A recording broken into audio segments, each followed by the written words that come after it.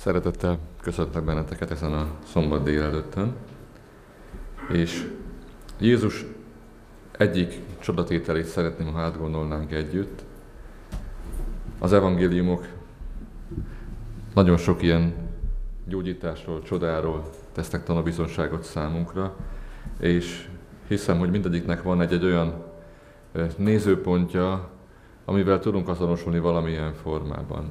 Hiszem, hogy a most következő ilyen gyógyítási történet is nagyon sok gyakorlati segítséget adhat nekünk a hit kérdésében.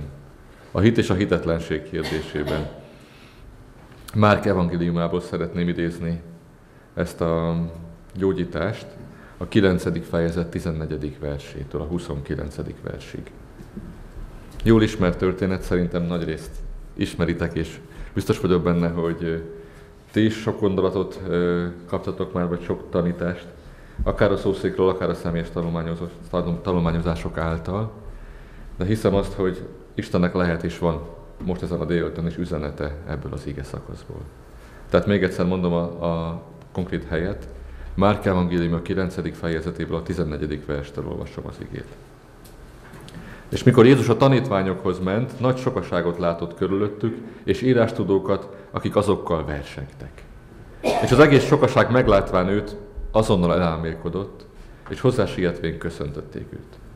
Ő pedig megkérdezte az írástudókat, mit versengtek ezekkel?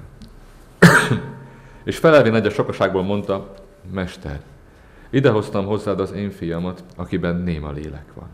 És ahogy csak előfogja, szaggatja őt, ő pedig tajtékot tud, a fogát sikorgatja és elfonnyad. Mondtam hát tanítványaidnak, hogy őzzék ki azt, de nem tudták. Ő pedig felelvén mondta, ó hitetlen nemzetség, meddig leszek még veletek? Meddig szenvedlek még titeket? Hozzátok őt hozzám. És hozzávitték azt, és mihelyt őt meglátta, mármint az a személy, a lélek azonnal szaggatta azt, és leesvén a földet tajtékot turván fetrengett. És megkérdezte atyát, mennyi ideje, hogy ez esett rajta. Ő pedig mondta, gyermeksége óta. És gyakorta vetette őt tűzbe is, vízbe is, hogy elveszítse őt, de ha valamit tehetsz, légy segítségül nekünk, könyörülvén rajtunk. Jézus pedig mondta neki, ha hiheted azt, minden lehetséges a hívőnek. A gyermek atya pedig azonnal kiáltván könyhullatással mondta, hiszek, Uram, légy segítségül az én hitetlenségemnek. Jézus pedig, mikor látta, hogy a sokaság még inkább összetódul, megdorgálta a tisztátalan lelket, mondván neki, te néma és süket lélek, én parancsolom néked, menj ki belőle, és többé belé ne menj. És kiáltás és erős szaggatás között kiment, az pedig olyan lett, mint egy halott, annyira, hogy sokan azt mondták, meghalt. Jézus pedig megfogván kezét fölemelte és fölkelt. Mikor pedig bement a házba, tanítványai megkérdezték őt külön, mi miért nem űzhettük ki azt. Ő pedig mondta nekik, ez a faj semmivel sem űzhető ki, csupán könyörgéssel és bőjtöléssel. Szeretném, hogyha első körben megpróbálnánk belehelyezkedni ennek a kétségbe esett apának a helyzetébe. Nem tudom, hogy volt-e már olyan, itt sokan vagytok szülők, hogy a gyermeketek szenvedett betegségtől valamilyen nyomorúságba esett, és megragadtatok volna minden lehetőséget, hogy valahogy segítsetek rajta. Az apának is a fájdalma, mert amikor azt mondja, hogy ha valamit tehetsz, akkor könyörülj rajtunk. Azt mondja, hogy rajtunk. De ebből a többes számból mi derül ki? Csak a fiú szenved? Hát dehogy. Ha a gyermek szenved, a szülő is szenved vele együtt, ugye? Mit érezhetett? Mi motiválhatta, amikor oda megy a tanítványokhoz? Tehetetlen, kétségbe esett. Hát, ha segít valaki rajta, megragadok minden lehetőséget, csak változzon a helyzet. Ezek a Krisztus követők biztosan tudnak segíteni. Ők majd biztos tudnak segíteni. Oda megyek hozzájuk, és majd ők. Tudtak segíteni, vagy nem tudtak segíteni? Nem, nem tudtak. Most akkor nézzünk egy másik fókuszt. Voltatok ti már hasonló helyzetben, mint az atya? Mentek a testvérekhez, vagy a magukat Krisztus követőknek vallókhoz, és nem tudnak segíteni. Próbáljatok feltárni a problémáitokat, és az probléma marad. Volt már ilyen helyzetetek az életben? Tapasztaltátok már ezt? Ugye itt van akár a Jóvi példa is, aki mondja, nyomorult vigasztalók vagytok. Szerintem ezen mindannyian keresztül megyünk, hogy nézzük a hívőket, vagy várunk tőlük valamit. Az fiataloknak is lehet egy probléma, egy próba. Nézem a szüleim hitét, vagy a gyülekezet hitét, és azt mondom, hogy köszönöm szépen, nekem ez a kereszténység nem kell. Mert könnyebb a fókuszt Krisztusról, vagy Istenről, ugye az emberekre vetíteni. Itt is az atya megy, és azt gondolom, hogy ez nem egy rossz motiváció. A Krisztus követők biztos tudnak segíteni. De gyakran megéljük azt, és most maradjunk itt a fókusznál, fókuszban a saját életünkben, hogy szeretnénk segítséget várni, vagy vágyunk el a testvéreinktől, és nem tudnak. Vagy a Krisztus követőktől. És ilyenkor az emberek egy része elfordul, akár az egyházból, akár az egyháztól.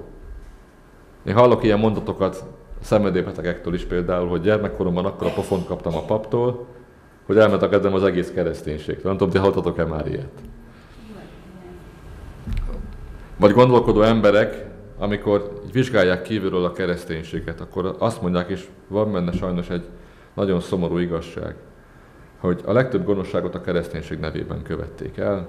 Köszönöm, ebből nem kérek. Inkább maradok egy becsületes ateista. Nem tudom, ismertek-e ilyen embert? Vagy jártam a gyülekezetbe, de ott, amit ott tapasztaltam, hát az rosszabb volt, mint a világi munkahelyemen a légkör. Úgyhogy én ezért maradok inkább magánkeresztényként. Én majd megtartom magam a szombatot otthon, és köszönöm nekem, nincs szükségem testvérekre. Ez is lehet egyfajta magatartás, amikor keressük a Krisztus követőket, és nem tudnak erőt mutatni, nem tudnak Isten kezében csatornák lenni számomra. Ezt írta meg az atya. De fordítsuk meg a kérdést. Voltatok-e már a másik oldalon, hogy hozzátok ment valaki, hogy kérlek segíts nekem. Neked több a bölcsességed, neked van hited, te gyülekezetbe jársz, biztos tudsz segíteni. És voltatok már, hogy nem tudtatok. De a tanítványok sem tudtak. Ebben a helyzetben. Pedig ők már átéltek csodákat. Tudjuk, hogy amikor Jézus kiküldi a hetvenet, akkor ott is mi minden történik.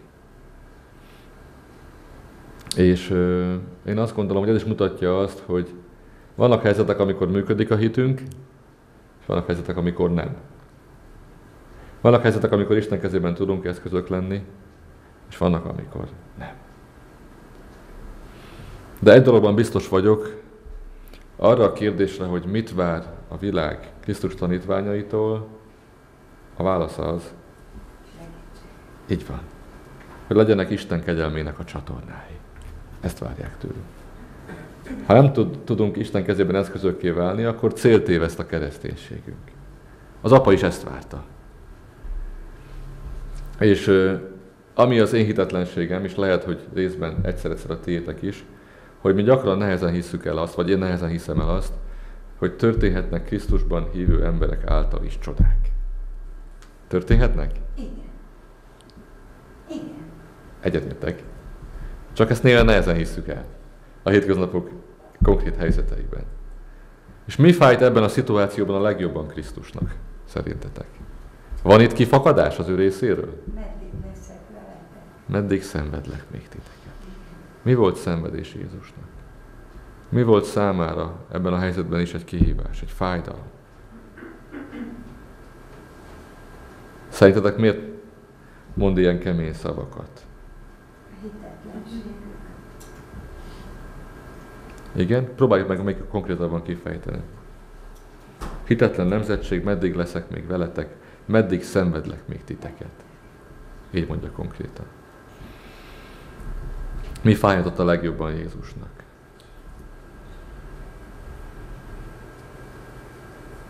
Ő azt várta vajon, hogy nélkül is tudjanak gyógyítani? Hogyan, hogy mi a jelző, amit mond nekik? Milyenek ők? Milyenek a tanítványok? Hitetlenek, ugye? Hitetlenek. Én azt hiszem, hogy Jézus szeretett volna többet adni. Több hitet, több isteni erőt, nagyobb tapasztalatokat, de ez csak időszakosan sikerült. Miért? Mert a tanítványoknak milyen nem volt? Hite. Eszembe jutott két történet, ahogy készültem. Az egyik akkor ö, történt, amikor ugye Jézus tanítja egész nap a nagy sokaságot, ugye kétszer is megvendégel sok ezer embert, és az egyik ilyen alkalommal úgy érzi fel az evangélium, hogy a tanítványok mennek odahoz, és mondják, hogy hát mester, hát egész nap itt volt a sokaság. Nem ettek, biztos elfáradtak, éhesek, bocsássuk el őket. És Jézus mit mond nekik, emlékeztek? Adjatok nekik ti enni. Miért mondta ezt? Képesek lettek volna ők enni adni a sokaságnak? Igen vagy nem? Biztos? Hát Nem volt egyedül magukban nem. Ez biztos. De az isteni segítséggel, ha nagyobb hitük lett volna, Ott volt egy kevés étel, amit Jézus megsokasított. De miért mondja azt is, hogy adjatok nekik ti enni? Nem arra vágyott itt is, hogy legyen már nagyobb hitük, nagyobb odaszánásuk. Ott vannak a világ teremtőjével együtt, közösségben. Lehetnének az ő kegyelmének a csatornái sokkal inkább. De ezt Jézus a földi életében nem nagyon tapasztalta. Viszont, hogyha megfigyeljük azt, hogy az apostolok cselekedetei milyen csodákról tesznek tanúbizonságokat. Ugye, am- amerre mentek az apostolok, néha csak az árnyék érintett valakit, már meggyógyult. Hát ez micsoda csoda? Ugye? Vagy akár levetett ruhák is képesek voltak erre. Vagy amikor a viharban a tavon elvesznek a tanítványok, és hát kétségbe esetten, elfáradva, halálfélelemben fölverik Jézust, hogy hát nem törődsz vele, hogy elveszünk. Akkor Jézus ugye lecsendesíti a tengert, lőn nagy csendesség, ezt olvasok. Mi az első mondat, amit mond a tanítványoknak? Hol van a ti hitetek? Vagy miért vagytok ilyen félénkek? Hogy van, hogy nincsen hitetek? És olyan elgondolkodtató, hogy ha most megnézzük a saját hitünket, hogy alakul. A hétköznapokon én megfigyeltem, hogy olyan természetesen tud működni az, ami Krisztus felé gyakran sokkal nehezebben. De ígértem, hogy fogok beszámolót tartani a törökországi útról. Négy repülővel repültünk, Isztambulban szálltunk át, Budapestről Isztambul, Isztambulból először Izmir, vagy Smirna, a régi nevén, visszafelé pedig Denizliből mentünk, szintén Isztambulba, onnan pedig Budapestre. Négy repülőre szálltam fel. Én azt gondolom, hogy ha valaki repülőre száll, akkor van-e ott benne hit? Hát hogy nem? Elég sok, nem? Igen. Rábízom magam egy ismeretlen emberre. Hányan repültetek már életetekben? Előtte hányan mondtátok azt, hogy jó, én mielőtt felszállok, szeretném a pilótát megnézni magamnak. Szeretném kérni a repülési óráinak a számát, szeretném kérni azt, hogy milyen referenciákkal rendelkezik, hogyan vizsgázott a, a, az iskolában, és hogy milyen az egészségügyi státusza éppen. Mert azért csak úgy nem szállok fel egy repülőre. Kértetek ilyet? Nem. Miért nem? Miért nem jut eszünkbe? Csak a jó Istenhez imádkoztam. Neked van hited Istenben. Ez jó. De nagyon, nagyon, sok, nagyon sok ember Isten hit nélkül rábízza magát. Egy pilótára, rábízza magát a repülőgép társaságra, rábízza magát arra a gépre. Nem jártam körbe a repülőgépet. Oké, itt vannak repülőgép szerelők, tudjuk, hogy vannak balesetek, nézzük meg, hogyan működnek az alkatrészek, nézzük meg, hogy tényleg a fixány valóban ki fog-e oldani, hogy a hajtóművek épsége az valóban olyan-e, mennyire rozsdás vagy korodált az a gép. Szoktunk ilyet csinálni? Nem. Rábízunk magunkat.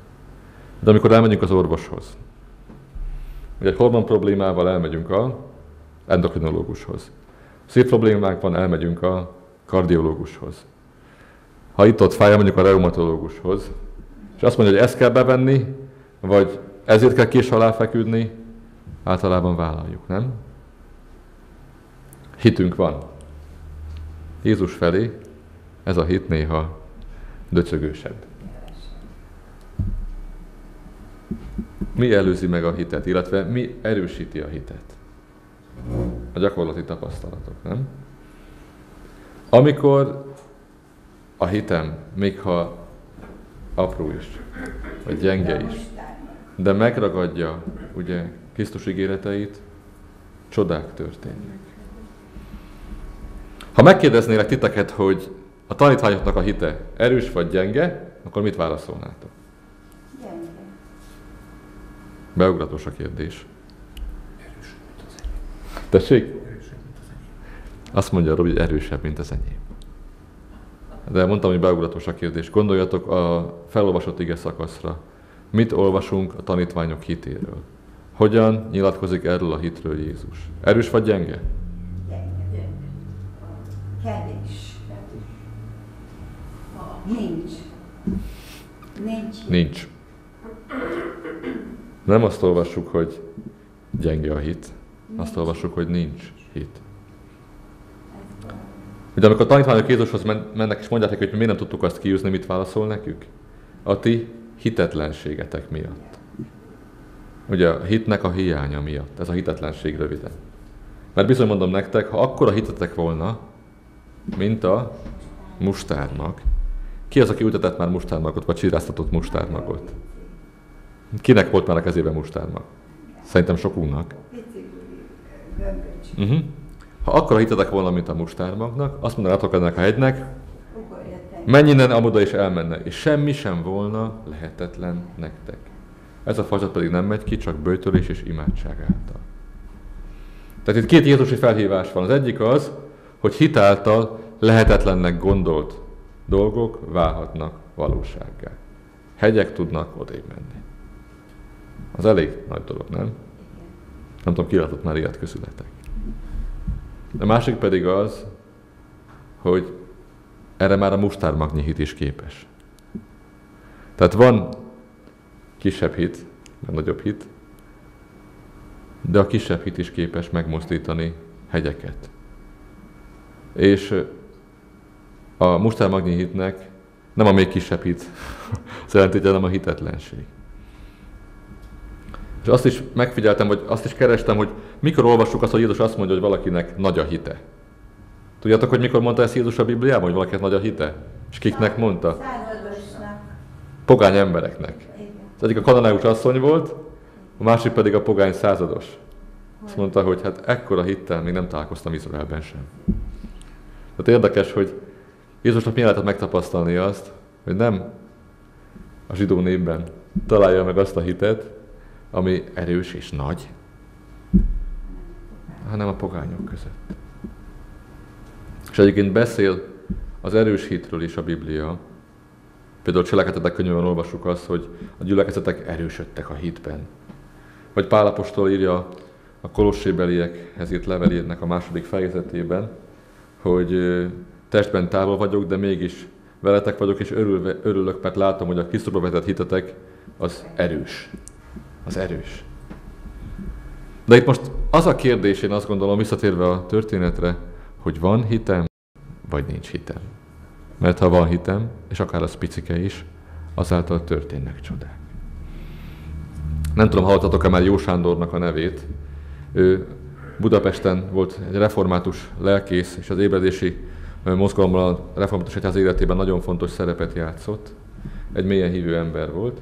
És ezzel a gyógyítással kapcsolatban nagyon szép gondolatmenetet fogalmazott meg, és szeretném ezt szó szerint idézni nektek. Azt mondta Jó Sándor, nem a hit a nagy és az erős, hanem akire irányul. Isten nagy és erős, és a mindenható. Ezért hasonlítja a mustármaghoz éppen, amelyikről azt mondja Jézus, hogy a legkisebb a magvak között, de mégis elég arra, hogy általa megvalósuljon Istennek a hatalma, realizálódjék Isten hatalma. De nem azon van a hangsúly, hogy nagy legyen, vagy erős, hanem azon, hogy mint mag élő legyen. Élő legyen az a mag. Tehát élő kapcsolatot jelentsen köztem és Isten között. Akkor aztán mindegy, hogy kicsi vagy nagy. Mint ahogyan, itt jön egy jó példa, egy drótnál sem az a fontos, hogy vastag vagy vékony, hanem hogy vezeti-e az áramot. Tudja vezetni a vékony is? Persze. Hogy ne. A hit minőségénél is az a döntő, hogy vezesse a mennyei energiát bele a szívekbe, és hogy részesévé tegye, tegyen a megváltásnak, a bűnbocsánatnak, az Istennel való élő kapcsolatnak. Bekapcsolódjon Istenbe. És akkor Istennek mindenféle munkája, amit az emberi hit közegében végez, az mind csoda. És így történhetnek csodák a Krisztusban hívő emberek által ma is. Nem véletlenül olvassuk azt, hogy Isten mondja, próbáljatok meg engem. Kapaszkodjatok bele az én szavamba. A hit hallásból van, a hallás pedig Isten igéje által. Isten igéje által. Van-e hitem arra, hogy amit Isten mond, az valóság? Tudom-e rábízni az életemet? Van-e bennem akár csak pici hit, hogy megragadjam, vagy hitetlen vagyok? Ez a kettő alternatíva létezik. Mennyire tudom komolyan venni Isten ígéreteit? Ja, azt olvassuk például Jakab apostolnál, hogyha valakinek nincsen közöttetek bölcsessége, kérje Istentől, aki mindenkinek készségesen és szemrehányás nélkül adja, de van egy kitétel, mint a csillag lenne, és alul, de hogyan kérje? Kérje hittel. És ne kételkedjen, mert aki kételkedik, az milyen? Mint a tenger habja vagy hullámja, de az ide is tovahány a szél. Mert az ilyen ember nem kaphat. Nem azért, mert nem akar adni, mert nincsen hit a kérésében. És itt visszatérve a gyógyítás történetéhez az atyához, mivel szembesül? Hogyan szólítja meg Jézust? Azt mondja, itt van a fiam. Ma azt mondanak valószínűleg, hogy epilepsziás. Ugye, tűzbe, vízbe veti magát, öntudatlan állapotba kerül, megszállta egy démoni lélek. És mit mond Jézusnak? Ha valamit tehetsz, légy segítségül nekünk, könyörülvén rajtuk. Van ebben hit? Kérdés. Hát nem túl sok. Jézus mit mond erre? Hát te most hiszel, vagy nem hiszel? Ha hiheted, Minden minden lehetséges a hívőnek. Ha nem hiszed, akkor pedig marad minden úgy, ahogy. Tehát finoman, de Jézus szembesíti az atyát azzal, hogy nincs hite. Ha hiszed, ha hiheted, akkor a hívőnek minden lehetséges. Ha nincs rá hited, akkor nem fog történni semmi. És ugye itt hangzik el az atya ajkáról a hitetlen hitnek a paradoxona. Nem? Hiszek, Uram, légy segítségül az én hitetlenségemnek. Most hisz vagy nem hisz? Mint az atya fölkiáltana, hogy hát ha csak hinni kell, akkor kapva kapok rajta. És azt mondja, persze, hogy hiszek, Uram. Hiszen mi sem könnyebb. De ahogy kimondja, már is érzi, hogy is. Hisz ez a legnehezebb. Hiszen még hinni sem tudok magamtól. Az a hit, ami bennem van, az alig több a hitetlenségnél. És ezt tapasztalták a tanítványok is. Azt gondolták, hogy hisznek, aztán amikor kiderült, hogy mégsem, akkor mennek Jézushoz. Az is igaz lehet, hogy hiszünk, meg az is, hogy nem. De milyen jó, hogy még hitetlenségünkben is kérhetjük Istent. De ezt mondja az Atya, hiszek Uram, segíts nekem, mert hitetlen vagyok. De hinni akarok. És nem tudom, megfigyeltitek a gyermekeket, hogy nekik milyen erős a hitük sokszor. Amit a szülő mond, amit a felnőtt mond. Útban. Nem kételkedik. Rábízza magát. És az árás felé haladva szeretném idézni Ellen White egy nagyon szép gondolatát a Jézus élete című könyvéből, amit ezzel a szakaszsal kapcsolatban mond el. A hit összeköt bennünket a mennyel, és ez ad erőt, hogy megbirkózzunk a sötétség erejével. Jézusban Isten gondoskodott eszközről minden bűnös jellemvonásunk legyőzésére, hogy ellen tudjunk állni minden kísértésnek, bármilyen erős is. Mert szeretném még egyszer olvasni, mert néha túlsiklunk mondatokon. De ez nagyon fontos mondat szerintem Ellen White tollából. Jézusban Isten gondoskodott minden bűnös eszközről, minden bűnös jellemvonásunk legyőzésére, hogy ellen tudjunk állni minden kísértésnek, bármilyen erős is legyen az. De ez micsoda ígéret? Nem? Azt mondja ki. Nem tudom, hogy küzd, küzdötök-e fogyatékosságokkal, jellemvonásokkal, kísértésekkel. Van-e visszatérő jellemvonásotok, amitől szenvedtek, akár évek, évtizedek óta? És van-e hitetek arra nézve, hogy amit most a legnagyobb gyengeségeteknek gondoltok, az lehet a legnagyobb erősségetek. Mert azt olvassuk, hogy Jézusban, a megváltóban Isten adott eszközt, hogy minden bűnös jellemvonásunkat le tudjunk győzni általa. Testvérek, van erre hitünk? Biztos? Akkor jövő hét annak a jellemvonásnak el kell, hogy tűnjön. Mert a hit az megragadja az Isten ígéretét. És belekapaszkodik abba, hogy Istenem, ezt te mondtad. És lehet, hogy nincs hitem. Lehet, hogy magam nézek, azt mondom, hogy hát ezzel már küzdök és küzdeni is fogok még. Tehát Krisztusban pont azt az ígéretet kapjuk, hogyha van hitünk, csodák történnek. A legnagyobb fogyatékosságaik lehetnek a legnagyobb erősségeink. Gondoljátok el, hogy mi a legnagyobb fogyatékosságotok. Mi az, amitől régóta szenvedtek. És képzeljétek el, hogy az a legnagyobb erősségetek kiválhat. Van erre hitetek. Mert benne van ebben a történetben a kulcs a változáshoz. Ha hiszem, minden lehetséges a hívőnek. Nincs lehetetlen. És itt elsősorban arra gondolok, és gondolt, hiszem Krisztus is, ami a belső változásnak szól elsősorban. Mert ugye porhüvelyünk megromol, de a lelkünk, a szívünk állapota, az gyógyulhat, az változhat. És így folytatja Ellen White. Sokan azonban úgy érzik, nincsen hitük, ezért távol maradnak Krisztustól.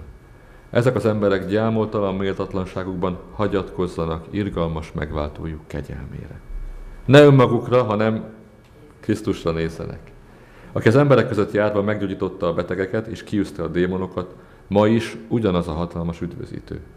Hiszem, hogy ma is ugyanaz, mint volt 2000 évvel ezelőtt. A hit Isten igéje által születik meg. Ragad meg hát az ígéretét, egyiket ír White, aki hozzám jön, semmiképpen ki nem vetem. Vesd magad lábához, és kiáltsd ezt, hiszek Uram, légy segítségül az én hitetlenségemnek. Ha ezt cselekszed, sohasem veszhetsz el. Soha. Ez egy szép gondolat. Ezzel szeretném zárni, és kívánom teljes szívemből, hogy ebben a régi gyógyítási történetben találkozunk önmagunkkal, és tudjon megszületni, ha kell, az a mustármagnyi hit, ami által az Isten csodákat tud tenni az életünkben és mások életében is. Ezt kívánom mindannyiunknak. Amen.